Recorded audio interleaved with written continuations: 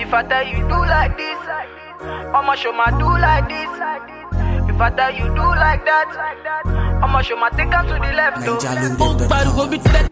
Alright, so hey guys, welcome back to my channel. Today is going to be a review on the new Fenty Pro Filt'r Concealer and the Setting Powder. Um, this video is going to be a little different. I'm going to split the screen so you guys can see the process and I'm going to give you my review as is. The Fenty foundation and the concealer in the setting powder, they came out on January 11th. Rihanna already released 40 shades of foundation and on January 11th she released 10 more shades to make 50 shades so she released some in between shades the closest shade to my shade that she released was 445 but that was too dark um for me. Uh, I am in the foundation in 420 and I'm going to put it up over here. I'm going to be um, applying the foundation so you guys can see um, what my face looked like before I had any makeup on when I applied the foundation. Then I'm going to show you guys the process as I apply the concealer and the setting powder so you guys can get a feel from where I started to what kind of coverage the foundation gives and then what kind of coverage the concealer gives and what kind of finish the powder gives. I went to Sephora. I'm gonna insert a clip. But I went to Sephora on January 11th as soon as the foundation and the concealer and the setting powder came out. I was in the store. I was in Sephora. I went to the mall and I got the I got the concealer in the shade 370 now although i am in the shade 420 like as rihanna um, came out with the foundations and the concealer to match. So if i was in the foundation 420 then my concealer will also be 420 but i am the type of person i like a highlight under my eyes and 420 was more um, to conceal basically. Just like if i wanted to do a no makeup look um, or I wanted to do my eyebrows like 420 would be perfect because that would be most like close to my skin tone. Like it'll only be like a tad bit lighter just um, to give you like the smallest highlight. Um so i was in the store. I tried like the 410 concealer. I went to the 400 concealer. I went to the 390 the 380 all the way until i got to 370 and that is what um I most liked. I can compare 370 to LA Pro Girl Fawn. Um, and when I use LA Pro Girl that gives me like the perfect highlight. It has a nice uh, like yellow golden undertone so 370 was really nice. I'm gonna show you over here on the side of the screen um, how the concealer looks when I was applying it. The concealer is described to be creamy creaseless and it's supposed to like you know hide all your flaws. It's supposed to be the ultimate cure. Um when i was applying the concealer the concealer was very creamy as described. Um i didn't get creasing like I applied the concealer on my eyelids and that is usually where I would get the most creasing. So I did not see any creasing in that area. Um I still like have like a little bit of bags right here but it's like you know the concealer isn't gonna do magic magic. So they still gonna kind of be there but I do have like a radiant lift where um you can look at like how I started from the beginning to now where I had like dark circles they're covered the foundation fully covered the concealer fully concealed and covered and I do have this like lift and glow under my eyes that um I was really happy about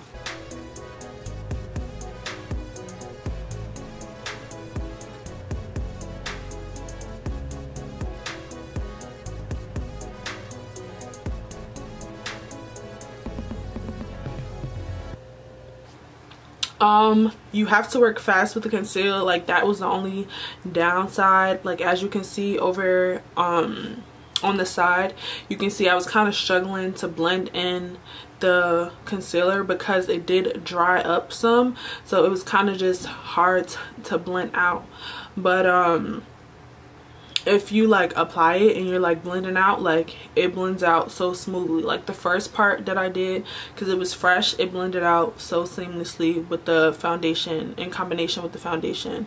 So just like if you decide to purchase the concealer just remember you know you gotta you gotta be snappy with it and you gotta hurry up and like blend everything out. Same thing with the foundation because this is made for people um with oily skin. So like there is it is a mattifying foundation. It is like a creamy concealer but it is a mattifying concealer to hold in all the oils and everything.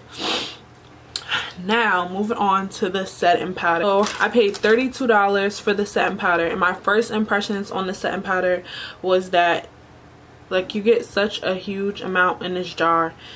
And um this is 28 grams 0.98 ounces. So you get a lot for your money and i was just looking for a new setting powder and this was just like perfect. And i'm gonna get more into it and tell you why. So first impressions was like the amount you get for your money was bomb.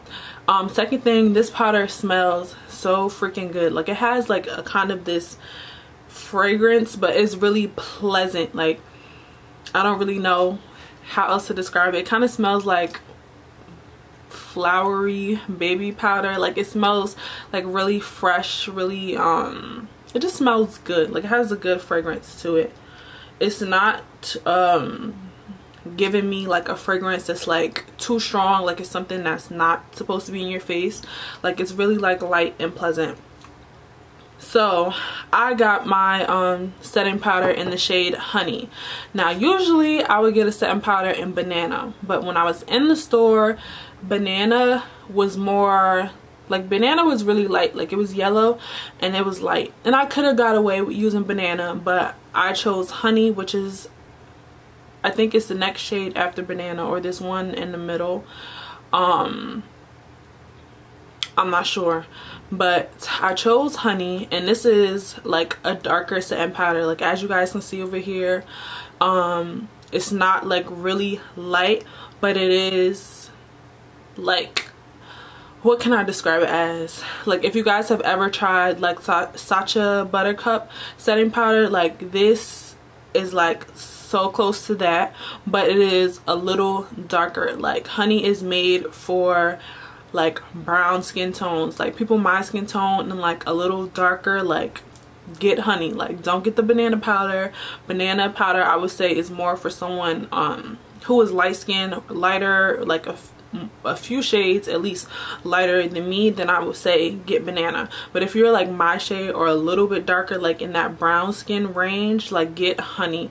Um it is such like this pretty color. It is like this yellow powder but it's like it's neutral. So it's not like giving you too much where like you take a picture and you can tell like this is exactly where sis put the powder and this is like what she did with the other other the other parts of her face. Like it's not like that.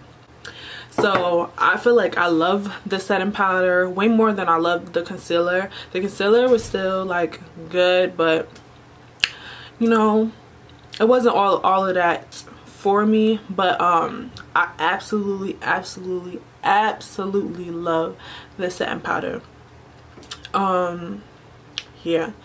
So it blended out like a dream like it blended so seamless seamless. It blended so seamlessly on top of the foundation and on top of the concealer like it was like a breeze. Like you know how you have to struggle? You got to go in that circular motion to dust off your baking powder and kind of like blend it in. So when you take your pictures you know you're not getting that flashback or anything. Like it was not a problem. And I was moving so lightly with my brush like sweeping it back and forth dusting the powder off and it came off like a dream. Like like that was my like favorite part. Like so after I did the setting powder I just applied these lashes. These lashes are from my new brand. It's called the Glitz Company. Go follow that on Instagram. I'll put it down here on the bottom of the screen.